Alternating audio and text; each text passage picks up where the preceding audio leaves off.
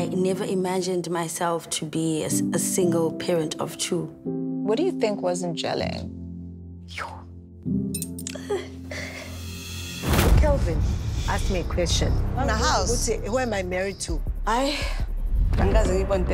Why did you continue running your mouth, Jojo? I Wait, just you there. Oh. Are you Listen, listening? I don't want to be involved in all this. Jojo's messing things up.